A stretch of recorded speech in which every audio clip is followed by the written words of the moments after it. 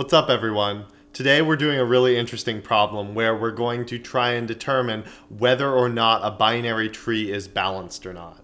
And honestly, I'm not going to go into any more detail than that without us just jumping right into the problem because we want to, the first thing we want to do in this problem is ask our interviewer to explain exactly what they mean by a balanced binary tree. And the reason for this is that after doing a bunch of research online, I found two quite conflicting definitions of what that means. So the first definition is maybe the more straightforward definition or obvious definition, which is that out of all the branches in the tree, there are no branches that are more than one different in length. So, like a good example of that would be this tree here.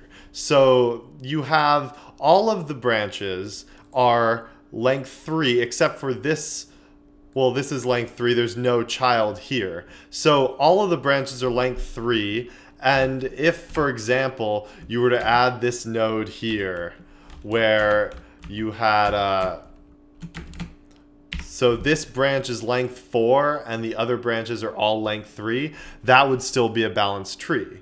But there's another definition of what a balanced tree is, and that's a little bit more complicated, but also seemingly a more popular way to treat it. And in this example, this is a binary tree. And what we're doing, or this is a balanced tree, sorry. And what we're looking at here is whether any two subtrees are more than more or less than one different in maximum height. And so what you can see here is that, for example, the two subtrees, we have the right subtree and the left subtree. So this subtree is of height 4, and this subtree is of height 5. So that is acceptable. And then we have this subtree here, which is, so the left subtree is, is height 2, and the right subtree is height 1. And on this tree, each subtree is height 1 and on this subtree we have height 3 on the left side and height 2 on the right side. So you can see that all of the subtrees are balanced, but the distance or the difference between the shortest and tallest node on the tree is significant. Or the like longest and shortest branch on the tree. There's a significant difference. So we need to understand what it is that our interview is actually asking us to do here because it, as you can see, it'll lead to a significantly different solution to the problem. So, for example, if we ta- if we go back to the first definition where our balanced tree has to have all of the branches are within one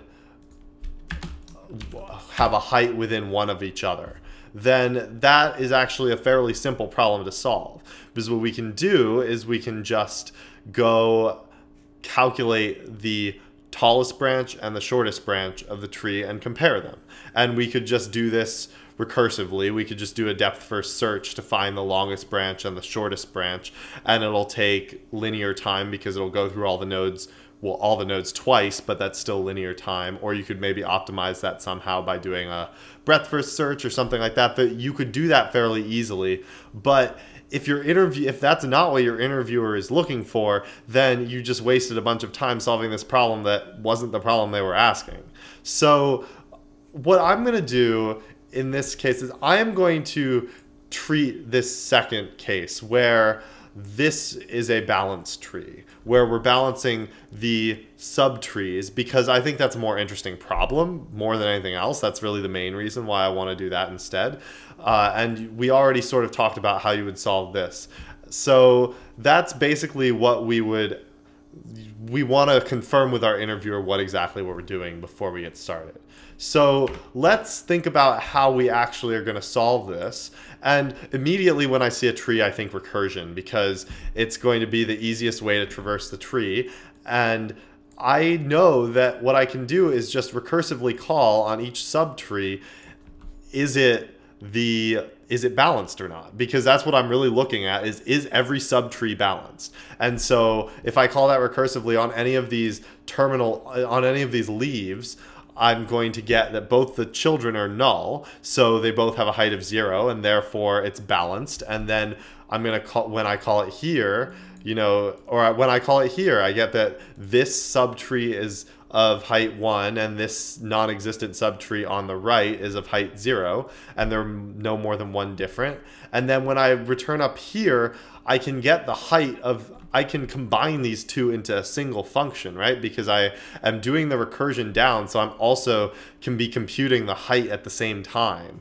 And so when I get to here, I just get I call my function on this and this subtree and then what I can I can actually combine these into one so that I'm both validating that the subtree is balanced and also getting the height of the subtree. And we'll see how to do that by basically I'm going to return a height of negative 1 if the subtree is not balanced and I'm going to return a height of 0 or greater if the subtree is balanced and we know that there can ever be a negative height. So this is going to be a good way that we can do this. So let's, hopefully that sort of makes sense and you'll see more as we get into the code, but let's just jump in to the actual code. So I'm gonna go ahead and define a private node class because that's going to represent our tree.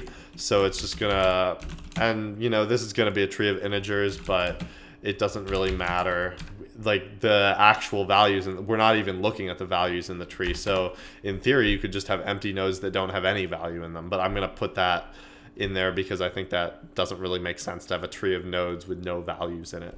So and then we're doing it's a binary tree so we only have two children. So i'm going to do node left and node right like that to represent the two children. And now we're gonna, our main function is going to be return a boolean, right? Because we're returning just is it balanced or is it not? And I'm just gonna call that is balanced. And it's going to take in a node n.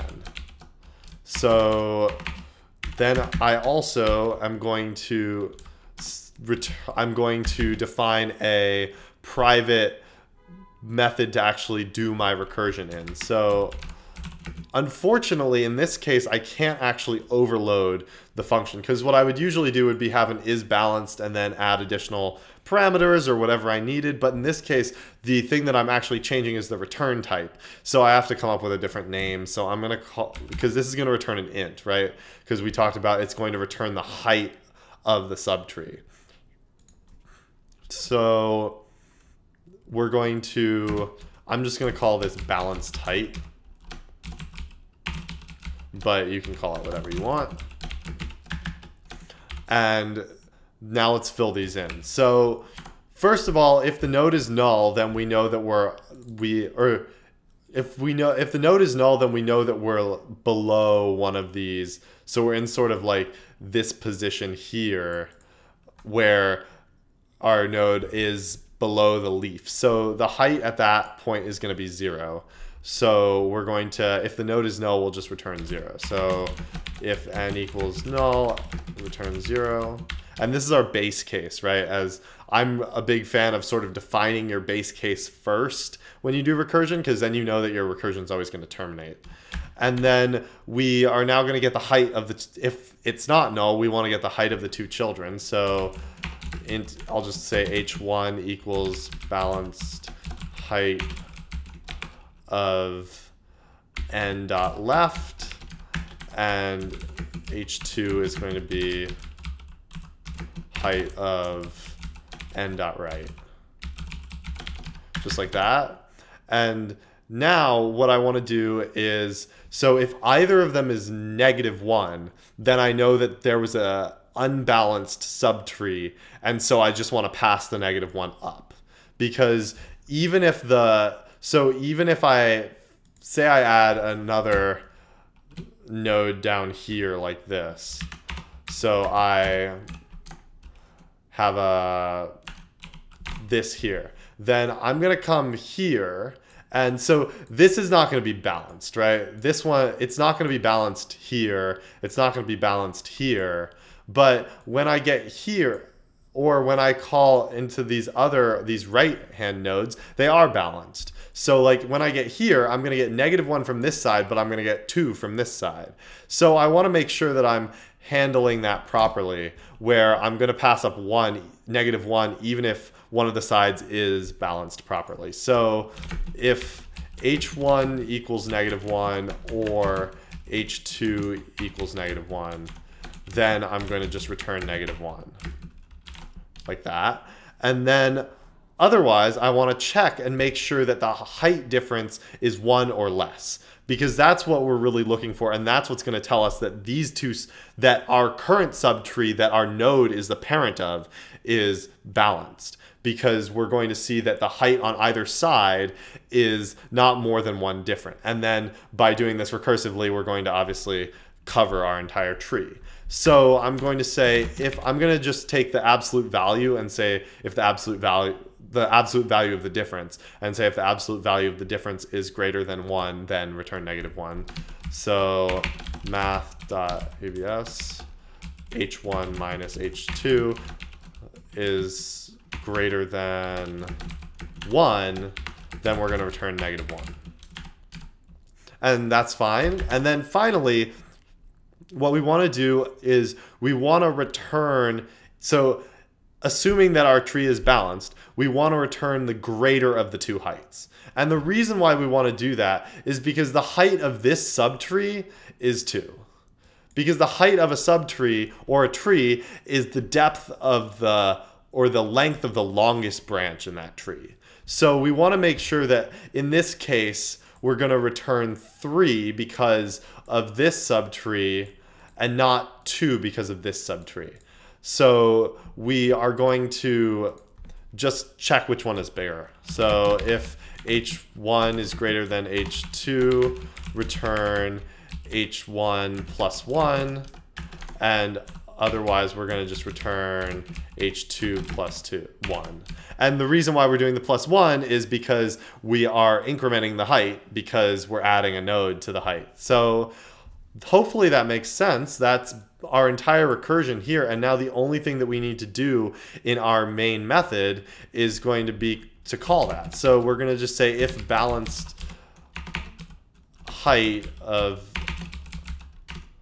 of n is greater than negative 1, then we're going to return true right? Because as long as our height is not negative 1, it doesn't matter what the height is. As long as the height is not negative 1 or less than negative, it wouldn't be less than negative 1, but as long as it's not negative 1, then we have a valid or a balanced tree. And otherwise, we're going to return false. So that's all there is to it. It's a little bit tricky because of the recursion, but it's not too, too difficult. So let's actually test this with an example. And I'm not going to go through this whole thing because this whole thing is really big. So I'm going to just modify this a little bit. And I want to make sure that I'm actually getting a good test. So I think this looks fine. And so let's come in here and we're going to call on node n, which is 1. So I'm just going to keep track of n equals 1.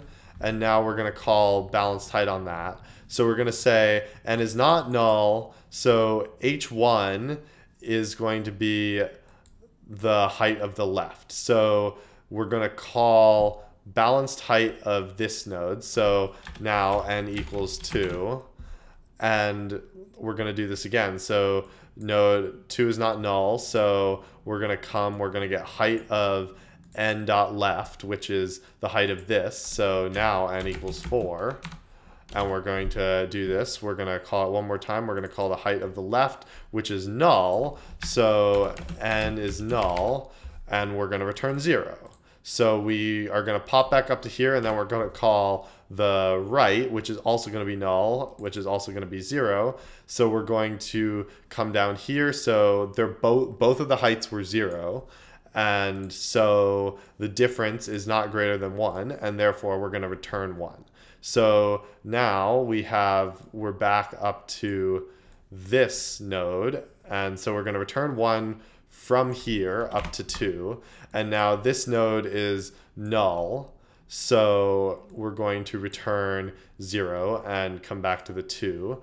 And then we're going to have 2 versus 1. So neither of them is negative 1. And so 2 minus 1, or 1 minus 0, sorry, is going to be equal to 1, which is not greater than 1. So we're going to come down here. We're going to return 2 because we're going to return our h1. Our h1 is 1 and h2 is 0. So h1 is greater than h2. So we're going to turn 1 plus 1, which is 2.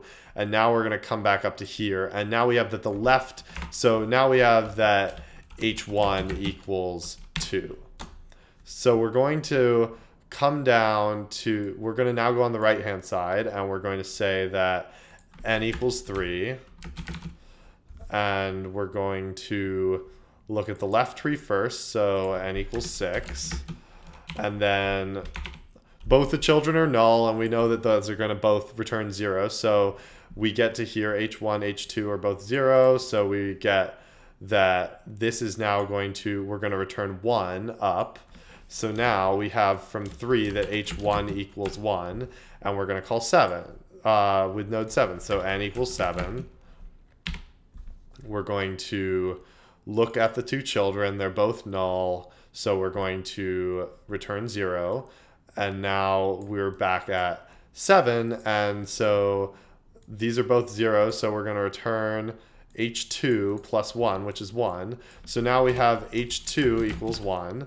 So we're going to, and now we're at node 3. So we have h1 and h2 are equal. So we come down here. Now we're going to return 2.